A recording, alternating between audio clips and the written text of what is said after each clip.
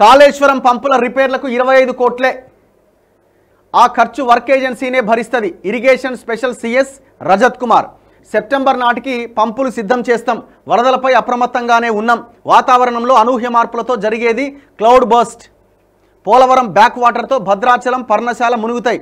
వాతావరణంలో అనూహ్య మార్పులతో జరిగేది క్లౌడ్ బర్స్ట్ అని అందరికీ తెలుసా? నువ్వేం చెప్పాల్సిన అవసరం లేదు. అసలు క్లౌడ్ బర్స్ట్ జరిగిందా జరగలేదా? జరిగే అవకాశం ఉందా? తెలంగాణలో జరిగిందా?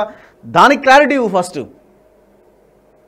నువ్వు కేసీఆర్కి మద్దతు ఇవ్వాలి కేసీఆర్ దగ్గర పని చేయాలనుకుంటే పో పనిచేయి ఫామ్ హౌస్లో ఎవడొద్దన్నాడు?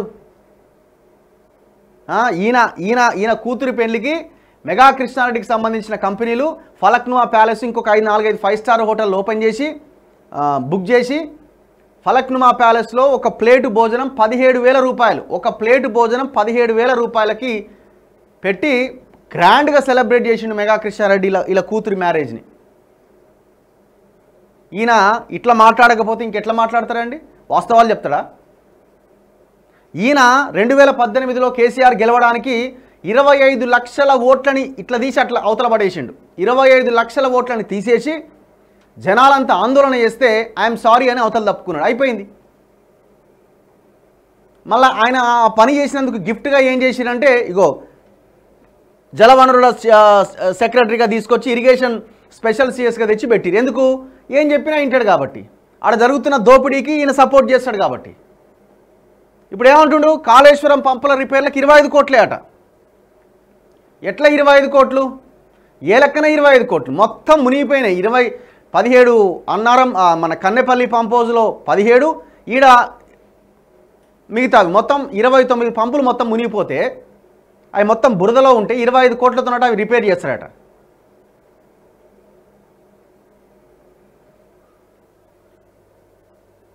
కాళేశ్వరం బ్యాక్ పోలవరం బ్యాక్ వాటర్తో భద్రాచలం పర్ణశాల మునుగుతాయట. మరి పోలవరం బ్యాక్ వాటర్ ఇప్పుడు గుర్తొచ్చింది నీకు? పోలవరం బ్యాక్ వాటర్తో మునుగుతాయని ఇప్పుడు గుర్తొచ్చింది మీకు ఎనిమిది సంవత్సరాల తర్వాత. కాళేశ్వరం బ్యాక్ వాటర్తో మునుగుతున్న సంగతి ఏందా? ఇగో బ్యాక్ కాళేశ్వరం బ్యాక్ వాటర్తో ఏడు వేల రెండు వందల యాభై ఏడు ఎకరాల్లో దెబ్ పంటలు దెబ్బతిన్నాయి. ఓ ఫోటోలు కనిపిస్తున్నాయి. మూడు జిల్లాల్లో నాలుగు సంవత్సరాలు అన్నదాతలకు ఇవే కష్టాలు ఉన్నాయి మరి ఎక్కడ పోయి రండి మీరు? దాని గురించి ఎందుకో మాట్లాడవు. వరదలతో మురిగిన కాళేశ్వరం పంపుల రిపేర్లకు మూడు నాలుగు వందల కోట్లు ఖర్చవుతుందనే దానిలో వాస్తవం లేదని ఇరవై కోట్ల నుంచి ఇరవై ఐదు కోట్ల వరకే ఖర్చవుతుందని irrigation special CS Rajat Kumar అన్నారు. ఆ నష్టాన్ని కూడా ఆయా పంప్ హౌజ్ల నిర్వహణ చూస్తున్న వర్క్ ఏజెన్సీనే భరిస్తుందని చెప్పారు. ఎస్ఆర్ఎస్పీ కడెం కాళేశ్వరం ప్రాజెక్టులు భద్రాచలానికి పోటెత్తిన భారీ వరదలు దాంతో వాటి వల్ల జరిగిన నష్టం పైన బుధవారం జలసౌధలో ఆయన ఈఎన్సీలు ఇంజనీర్లతో సమీక్షించారు. అనంతరం రజత్ కుమార్ మీడియాతో మాట్లాడుతూ కాళేశ్వరంలో భాగమైన పంప్ హౌస్లు బ్యారేజీల నిర్వహణ అగ్రిమెంట్ ప్రకారం ఆయా వర్క్ ఏజెన్సీలో చూసుకోవాల్సి ఉంటుందన్నారు. నలభై ఐదు రోజుల్లోనే పంప్ హౌజులు పునరుద్ధరించి సెప్టెంబర్ నాటికి పంపులు సిద్ధం చేస్తామని చెప్పారు. ఇప్పుడు ఈయనేమో ఇట్లా అంటుండు కదా? ఇంకా ఇలా టీఆర్ఎస్ పార్టీలో వి ప్రకాష్ గారు అని ఒక ఆయన ఉన్నాడు. ఆయనకి కొంత అవగాహన ఉంది. ఆయనకి ఈ వాటర్ ప్రాజెక్ట్స్ మీద పూర్తి అవగాహన ఉంది.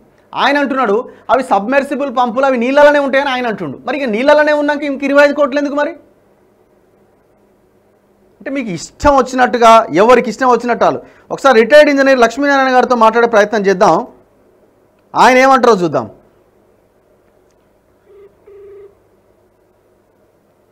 మరి కేసీఆర్ ఎందుకు మాట్లాడు?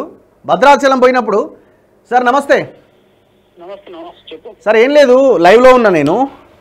ఇప్పుడు ఈయన ఈ రజత్ కుమారు మన ఇరిగేషన్ స్పెషల్ సిఎస్ ఏమంటాడంటే కాళేశ్వరం పంపుల రిపేర్లకి ఇరవై ఐదు కోట్లు పెడితే చాలు ఏం లేదంటాడు. అట్లే అంటాడు. ఏదో ఒకటి స్టేట్మెంట్ మరి ఎట్లుంటది? ఇప్పుడు ఆడనే యాభై కోట్లు ఖర్చు అయింది కళాకృతిలో. మరి ఇరవై ఐదు కోట్లు ఎట్లయితే ఓ ఆడ యాభై కోట్లు అయిందా సార్? అది రెండు పంపులే అనుకుంటా. సింపుల్గా ఆడ ఏదో లీకేజ్ అయితే రిపేర్కి యాభై కోట్లు అయినాయి. ఈడు ఇరవై కోట్లు అయితే. ఆ, అఫీషియల్గా యాభై కోట్లా సార్ అది? అక్కడ యాభై కోట్లు చెప్పొచ్చాను ఆ, ఏది మన ఎల్కలా? ఏదో ఉంది అది? అది పంప్ హౌస్. ఆడ కలో కలవకుర్తి పంప్ హౌస్. అప్పుడు ఆ లీకేజ్ అయినాయి. లీకేజ్ అయ్యి పంప్ హౌస్ నీళ్ళు వచ్చినాయి.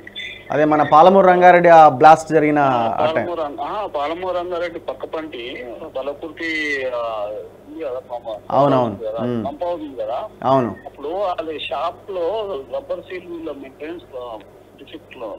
షాప్లో రబ్బర్ సీల్ అవుట్లా షాప్లో మీకు ఆ, నిండిపోయి నిండిపోయి మునిగిపోతే ఆనే యాభై యాభై కోట్లు అయినా అన్నది ఇరవై ఐదు కోట్లు మళ్ళీ ఇరవై ఇరవై తొమ్మిది పంపులే ఉన్నాయి మొత్తం.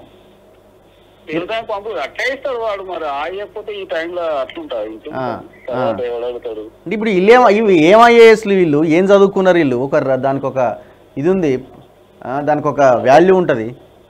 ఆ, రజత్ కుమార్ గారికి ఏం తెలుసు వాని సంగతి తెలుసు కదా? వాడు ఎట్లా అంటే అట్లా చెప్తాడు వాడు. ఆ. ఇప్పుడు నలభై ఐదు రోజులు మొత్తం పని అంతా కంప్లీట్ అయిపోద్దట. అది కాంట్రాక్టరే చూసుకుంటాడట.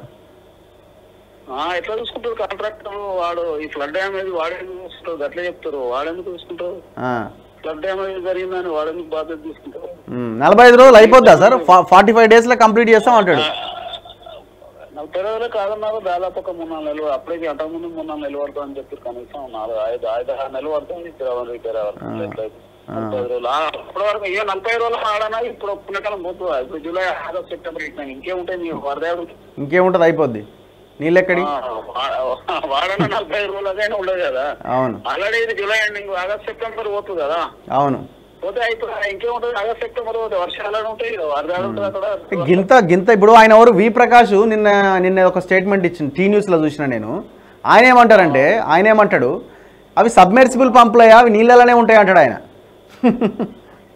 ఒక సబ్బుజీవులు పంపు నీళ్ళనే ఉంటాయంటే. ఇవి రిపేర్ ఎందుకంటే నీళ్ళు ఎందుకుంటే సబ్బుజీవులు పంపులు నీళ్ళు ఎందుకుంటే ముఠలు గిటలు. సో ఇది రిటైర్డ్ ఇంజనీర్ లక్ష్మీనారాయణ గారు చెప్తున్నది. ఏ ముఖం పెట్టుకొని ఇరవై ఐదు కోట్లు అని చెప్తున్నావా? ఏ లెక్కన అవుతుందయా? నువ్వు కేసీఆర్ తొత్తువు కాకపోతే ఇంకేదయా రజత్ కుమార్ అని అంటున్నారు. ఒక రిటైర్డ్ ఇంజనీర్ చెప్తున్న మాటను నేను మీకు మీకు ఇప్పుడు వినిపించిన. చలో నువ్వు ఇరవై ఐదు కోట్లు పెట్టవా నువ్వు? నీ నీ అకౌంట్ల నుంచి ఖర్చు పెట్టి మొత్తం వాటిని తీసుకురా. రాష్ట్ర ప్రజలు రాష్ట్ర ప్రజలు ఇస్తారా ఇరవై ఐదు కోట్లు? అవుతుందేమో చూద్దాం ఇరవై ఐదు కోట్లతో. ఈయన బీహారీ ఐఏఎస్. ఈయన ఒక బీహారీ ఐఏఎస్. బీహారీ మూలాలున్న కేసీఆర్ వీళ్ళ వీళ్ళంతా కలిసి ఈ ఇది- ఈ- బ్యాచ్ అంతా. ఈయన సోమేష్ కుమారు పెద్ద బ్యాచ్ ఉంది ఇది. నువ్వు ఫస్ట్ ఆ మ్యారేజ్ గేట్ మీద రెస్పాండ్ అవు మెగా కృష్ణారెడ్డి నీ కూతురు పెళ్ళి ఎట్లా చేస్తాడో దాని మీద రెస్పాండ్ అవ్వు. ఫలక్నుమా ప్యాలెస్లో ఒక్కొక్క ప్లేట్ భోజనం పదిహేడు వేలకు తింటారు మీరు. సో ఈ- ఈ రకంగా ప్రజల్ని మభ్యపెట్టే ప్రయత్నం జరుగుతూ ఉన్నది. దయచేసి ప్రజలారా ఈ దుర్మార్గులని నమ్మొద్దు.